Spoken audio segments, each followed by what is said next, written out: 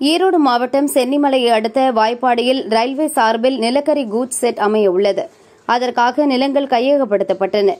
நிலக்கரி கூட் செட் வந்தால் விவசாயம் மக்களின் வாழ்வாதாரம் பாதிக்கப்படும். காற்று மாசு ஏற்படும் என மக்கள் எதிர்ப்பு தெரிவித்தனர்.